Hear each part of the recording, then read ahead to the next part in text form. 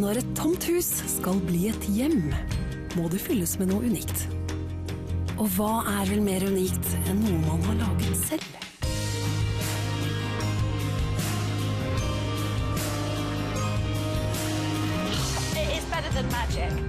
Skapes hjem som sier noe om deg.